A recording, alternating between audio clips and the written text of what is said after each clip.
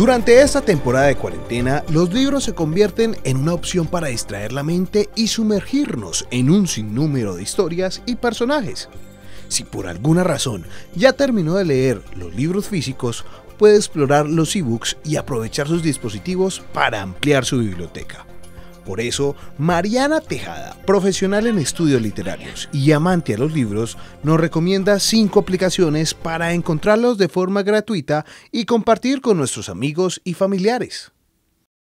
Hola amigos, yo soy Mariana y si a ustedes les gusta la lectura tanto como a mí, estas cinco aplicaciones que les voy a recomendar les van a encantar. Empecemos.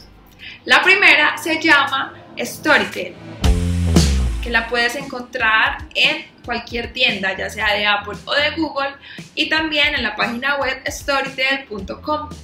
En esta plataforma puedes encontrar libros en formato de ebooks y también audiolibros. Así que si tú eres un fanático que le gusta descargar libros o por el otro lado escucharlos, esta es una aplicación que te puede gustar mucho.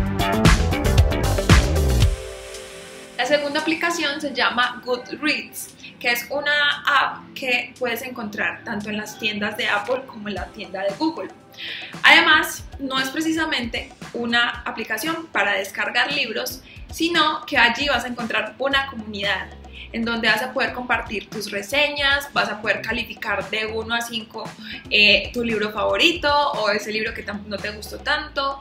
Eh, también vas a encontrar que puedes crear tu usuario y allí vas a poder ir guardando los libros que te has leído y en un momento determinado te vas a dar cuenta que te has leído en la vida más de 50 a 100 libros. Como tercera aplicación te recomiendo Kindle de Amazon. Muchos conocen el Kindle como la tableta eh, que se compra para leer que muchos utilizan para su estudio, para el trabajo o simplemente por ocio. Así que eh, también les quiero contar que existe en app y que allí puedes encontrar una variedad de libros, eh, tanto en español como en inglés, gratuitos.